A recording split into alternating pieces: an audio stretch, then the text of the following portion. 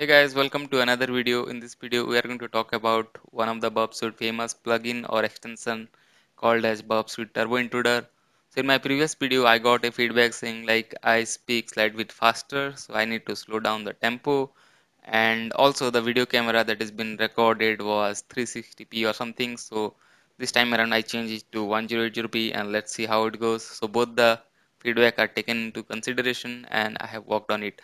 So let's see uh, in this video how we are going to utilize Burp Suite Turbo Intruder as well as we will see like uh, what are the different options. So in many YouTube many videos saying like uh, you know Turbo Intruder to run from our uh, Linux box. So in this specific case we are going to run this Turbo Intruder from my Windows system only which will make more sense and definitely give you more idea how to go about it.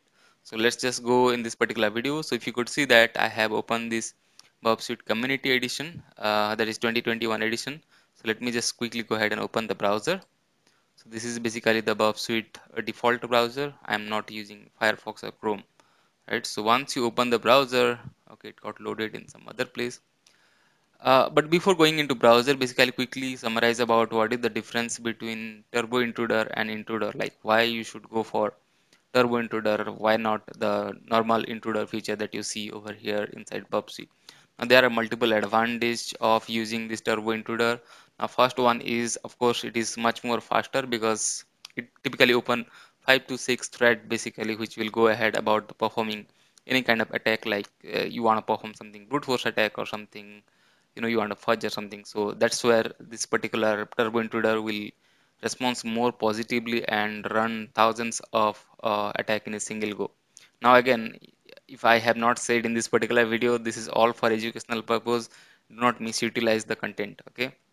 Now second one is your uh, turbo intruder consume less memory compared to the intruder because intruder basically might need some time uh, more memory whenever you run it. Probably if you go to the task manager you will see that like how much memory consumed by intruder. The Suite memory consumption will increase suddenly wherein in turbo intruder it will consume less memory and provide more output or effective output i would say. Next one is turbo intruder is based on python script. So basically you have the control in some of the customized case that uh, you have to modify some of the parameter which we will show in the demos in slight bit second. And uh, that is where it gives you more control basically to customize as per your need and run the payload. Now the last one is uh, reliability. Uh, i have got sometime failure about uh, you know running that uh, intruder and uh, sometime i have scheduled actually in one of my cases for weekend based brute forcing. But that feature was not properly working with the Burp Suite in like three four year back. But right now with turbo intruder you can basically rely on that feature. So we'll see in the demo how this turbo intruder look like and how does it go. So let me just go ahead and open one of my testing website not my basically ibm testing website. That is demo.testfire.net okay my bad. So this is where we are going to perform the attack. Now as soon as you see Suite has captured the request so let me just click on turn off the interception. And I will not uh, spend more time uh, with some other th stuff but directly take you to the login page and try to perform a brute force attack and show you how it works with Turbo Intruder. Now if you click on the sign in feature and this is what you are going to see screen now let's just go ahead and put some of the dummy value. So i will say admin consider i am trying to brute force to this particular login field with the password. So admin in the username and password i don't know. Okay. So we're going to brute force for the password field.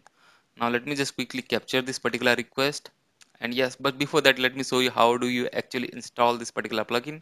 So you can go to this extender and go to this app store. And if you scroll down go to the t tab i mean t letter so you could see that turbo intruder is one of the extension that i'm using over here.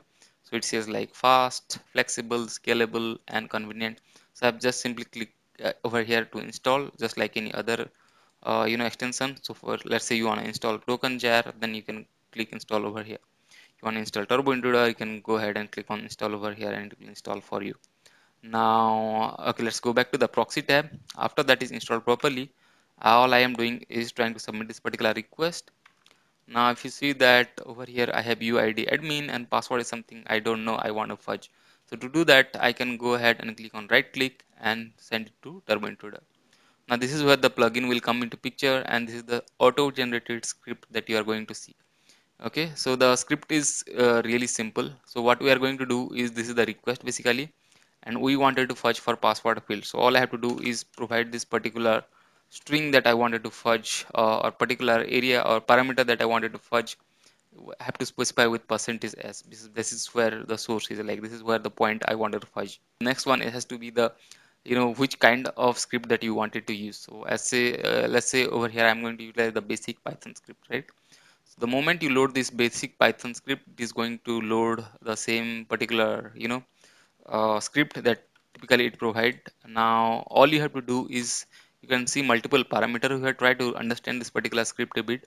So it says like it's going to target the endpoint and concurrent connection it says like 5 so it's basically opening 5 thread. Let's increase it to 7 why? Because 7 is my favorite number.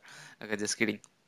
Next is the request per connection. So it says like 100 so for connection it is going to send 100 connection and there are seven uh, connection basically. So it is 700 request per connection i mean per second or something so it's really huge number.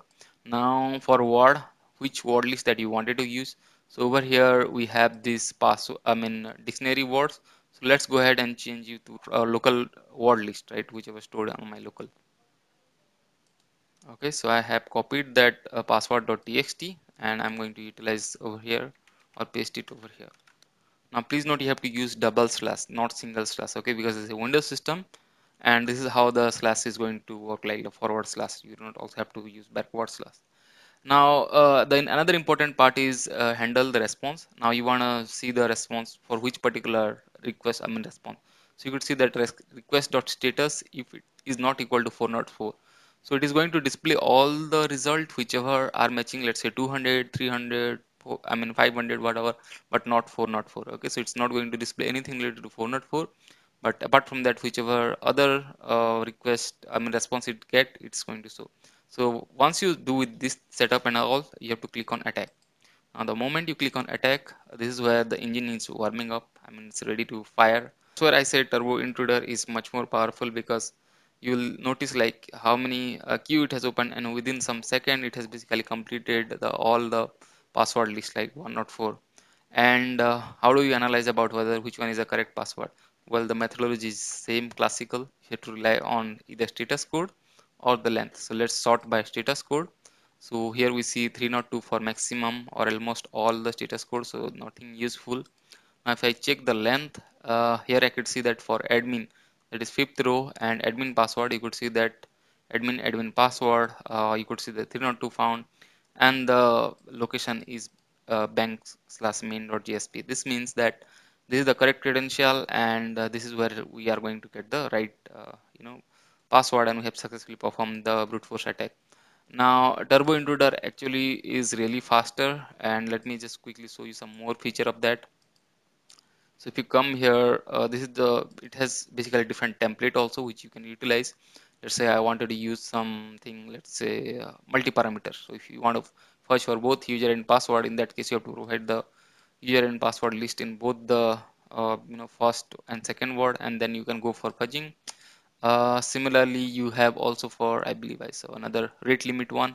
This is also really not interesting as the description is like throttle the attack request per request and per x request. That's the one of the beautiful extension. So i was definitely encourage you to utilize this particular tool turbo intruder which is faster than uh, normal intruder and uh, that's pretty much it about this particular video. Of course i forgot to say you one more thing. Maybe i think i forgot to tell you about this stuff. More importantly like the request status. You can obviously change it to 302 or something whichever status code you are looking for. Let's say i'm changing it to 302 right? So in that particular case it will be something like equal to equal to 302 okay this is how it is going to do and you just need to click on attack and it will start attacking right? Again it says percentage uh, s is not marked so this is one of the great feature within this tool. So you can always go back and configure whichever field you have not marked or if you are making some mistake within your script. So that's pretty much about this particular video. I hope you'd have liked something. Do hit like share this video with your friends and your colleagues and i hope to see you in another video. Till then have a great time. Thanks for watching